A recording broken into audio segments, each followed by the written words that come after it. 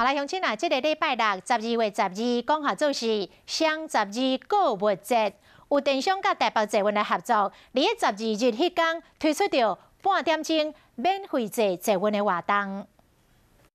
听近一年入站哔哔的声，卖使变成广告的收入。台北捷运为了要增加运输本业的收入，头一摆甲电商合作，除了入站的声有无共款，还有免费坐捷运的活动，要互人客有感觉。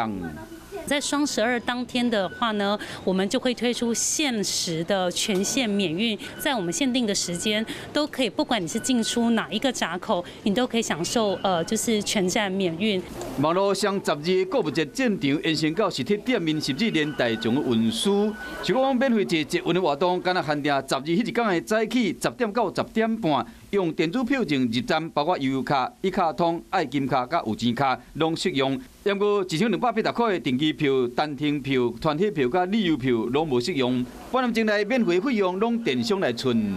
以整个最近的一个运量来预估啦，哈，大概可能差不多将近会有五万人的一个做呃旅客来做一个搭乘。免费的时段，敢若半点钟尔，效果安怎？个人看无共款。因过捷运大馆的鸟瞰缆车甲儿童乐园，被批评讲了钱了到够济，必须要积极创造附属的事业的收入，以持营运的绩效。